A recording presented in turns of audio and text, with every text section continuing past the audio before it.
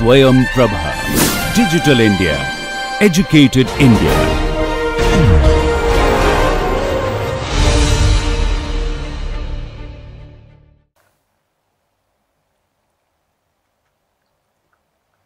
alveolar gases can help us differentiate between the different pathological states in the lung. Alveolar oxygen is lower in these two conditions. There is alveolar hypoxia, while it is higher in diffusion impairment and the last condition. Alveolar carbon dioxide is increased only in ventilation impairment. So, if we could estimate alveolar gases, in fact, it is a very non-invasive procedure and is quite easy to do. Just that the machine is not widely available and I do not understand why. If you look at arterial oxygen saturation for which you need to take an arterial blood sample, it is an invasive procedure. You find that there is arterial hypoxia in all these states. So, if you know the alveolar oxygen concentration, you would be able to differentiate between the different states. And this will allow you to compute alveolar arterial oxygen difference. Arterial oxygen is always lower than alveolar oxygen. The number is called AA oxygen difference or AA oxygen gradient. There is a normal value to that and if the value is higher than that, you would understand that there is diffusion impairment. So, estimating alveolar oxygen will not only help you differentiate between the states, it will also help you compute alveolar arterial oxygen difference to confirm whether there is diffusion impairment or not. Likewise, alveolar carbon dioxide can be a very useful lung function test too. Unlike arterial oxygen, which will always be lower than alveolar oxygen, arterial carbon dioxide is always equal to alveolar carbon dioxide. I have said before that this is a very important concept in respiratory physiology, except in extrapulmonary shunt, where arterial and alveolar carbon dioxide may be different, the two are identical in all other clinical situations. Therefore, you could use either one as surrogate for the other. Logically, one would think that arterial carbon dioxide estimation is an invasive procedure. You need an arterial blood gas sample. So, why don't we estimate alveolar carbon dioxide and use it as a surrogate for arterial carbon dioxide? That would be the most logical thing to do. But estimation of alveolar carbon dioxide, though it is a non-invasive non procedure, the equipment is expensive and the machine is available only in intensive care units. Having understood the value of alveolar gas concentrations as lung function tests, we will see the method by which alveolar gas concentrations are estimated. So, there is an oxygen meter and a carbon dioxide meter available commercially. Um, this is an infrared carbon dioxide meter. It's called a capnometer. Now, these two meters get a sample of the air that you breathe in and breathe out through a pump. Now, this doesn't have to be a tube in the mouth. You can even breathe through your nose as you would do normally and a small tubing stuck to the outside of the nose will help deliver a certain percentage of the air that you inhale and exhale, say 10%. There would be a small pump here which sucks in 10% of the air that goes in and out and deliver it to the meters. Now let us see what would happen to the reading in these two meters during inspiration and expiration. Let's take the case of the oxygen meter first. When you inhale, you're inhaling atmospheric oxygen. That air would then go through the airways and enter the alveolus. So, during inspiration, because you're constantly taking in atmospheric air, the oxygen meter will give the concentration of oxygen in atmospheric air. That would be 160 millimeters mercury. During exhalation, initially air from the airways that is air from the dead space will be exhaled and that you notice is pure atmospheric air.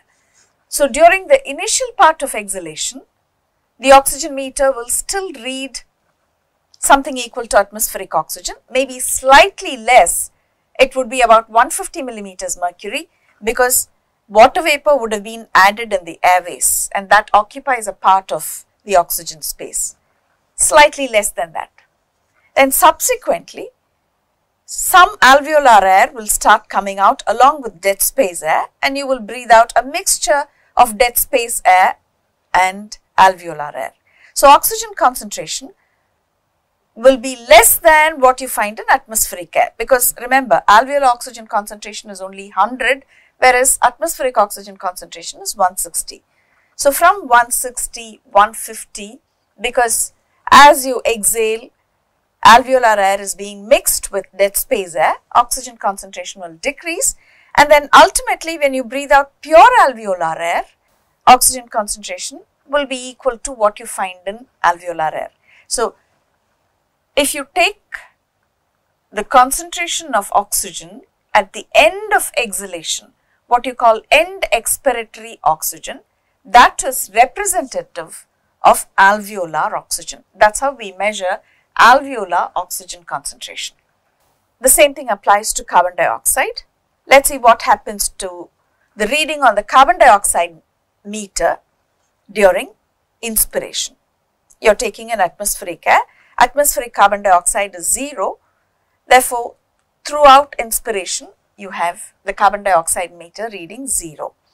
Then when you exhale, initially you will blow out what was there in the dead space. That again is atmospheric air, you won't find any carbon dioxide.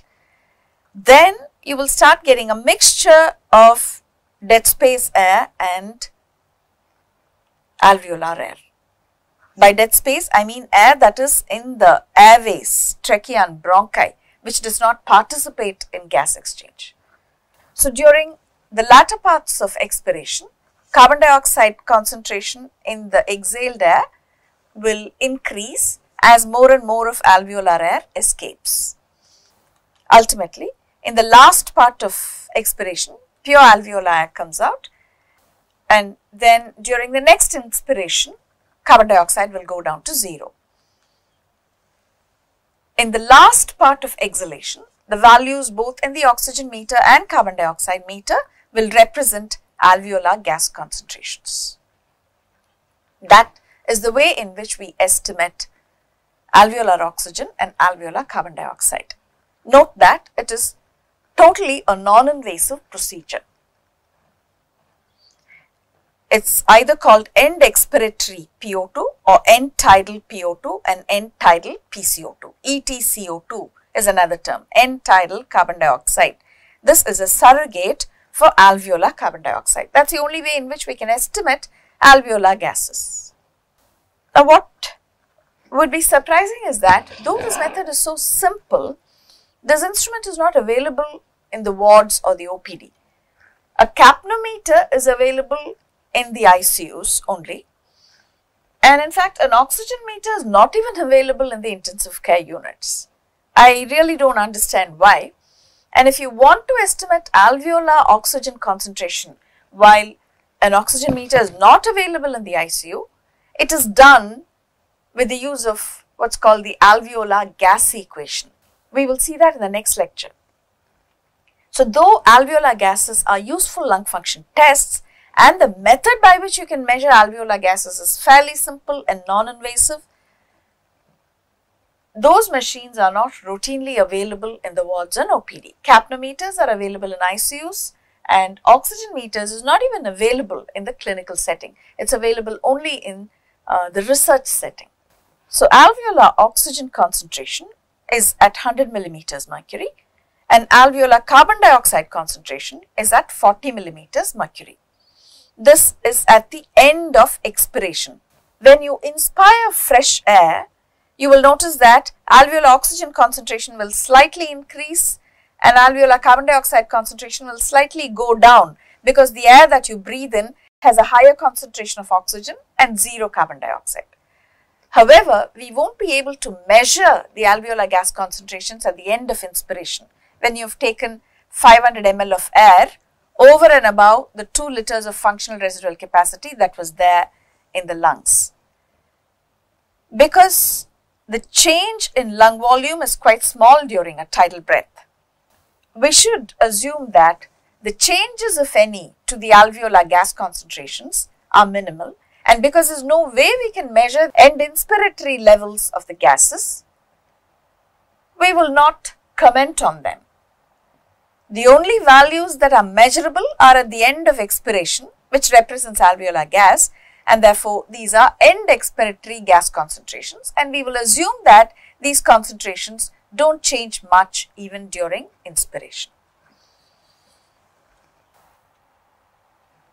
We've seen this table already we learnt that alveolar oxygen would be low in ventilation impairment and atmospheric hypoxia, would in fact be higher than normal in diffusion impairment and extrapulmonary shunt.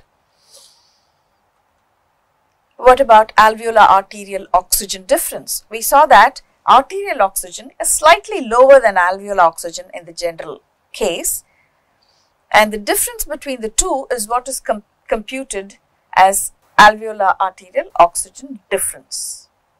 This value, if it is more than normal, we will see what the normal value is later on. If it is more than normal, you know that there is diffusion impairment.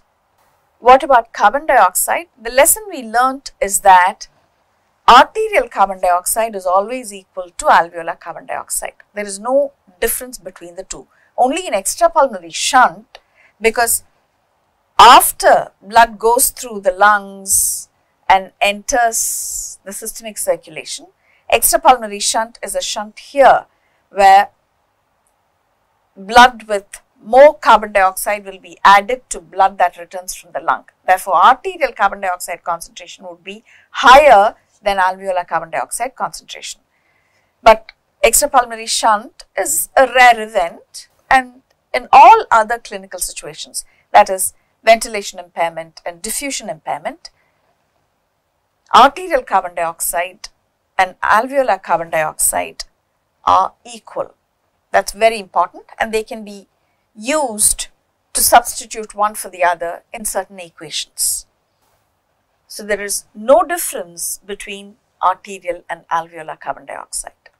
So, in, even in any form of lung impairment, alveolar and arterial carbon dioxide values are equal.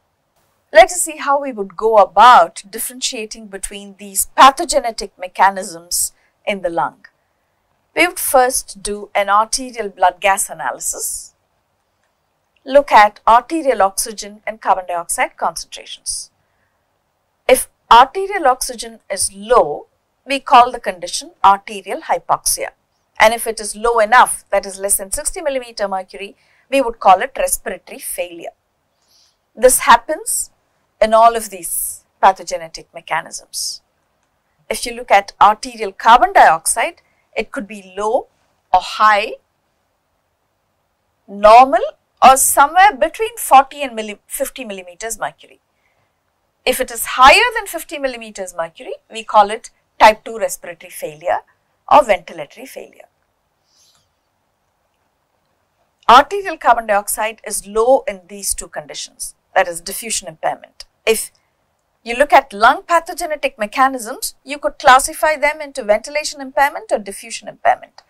Carbon dioxide concentration in the arterial blood is actually lower in diffusion impairment, whereas if it is high, it indicates ventilation impairment it's either normal or not too high in extrapulmonary shunt. After this, if there was a way of estimating alveolar gases using the meters that we just saw, then we can compute alveolar arterial oxygen difference from the alveolar oxygen and the normal value for the age is this is a very crude equation age by 4 plus 4 millimeter mercury is the normal value for the alveolar arterial oxygen difference. If somebody is aged 40, 40 by 4 is 10, 14 millimeter mercury can be the difference. That is, if somebody has an alveolar oxygen of 100, the arterial oxygen can be up to 86 millimeters mercury. That's what we mean by normal for age. In ventilation impairment, alveolar arterial oxygen difference is normal. Whereas if it is widened, say in this person aged 40 years that we just discussed, if arterial oxygen is only 70, let us say, while the alveolar oxygen is 100 millimeter mercury, then we know that the difference is widened and if that has happened, we know that there is diffusion impairment. We can also differentiate between the conditions depending on the response to supplementary oxygen. The response is best in atmospheric hypoxia, but there will be some response in ventilatory failure and diffusion impairment as well. In fact, the response to supplementary oxygen will be better in ventilatory failure than in diffusion impairment. However, it is very wrong to give just oxygen in ventilatory failure. It could even be fatal. We will consider that later. If there is no improvement in arterial oxygen with supplementary oxygen, then we know that there may be an extrapulmonary shunt. So, in this paradigm, we see it is a good idea to estimate alveolar oxygen with the kind of meters that we discussed. And we also went on to see that oxygen meters are not available in the clinical setting. While capnometers are available in the ICU setting at least, oxygen meters are not even available there. Then how do we estimate alveolar oxygen while we don't have an oxygen meter? Is there a way clinicians get past this impediment of not having an oxygen meter? They're, they are still able to estimate alveolar oxygen with the alveolar gas equation. The alveolar gas equation allows you to compute alveolar oxygen even when there is no oxygen meter or even a carbon dioxide meter. Thank you for your attention.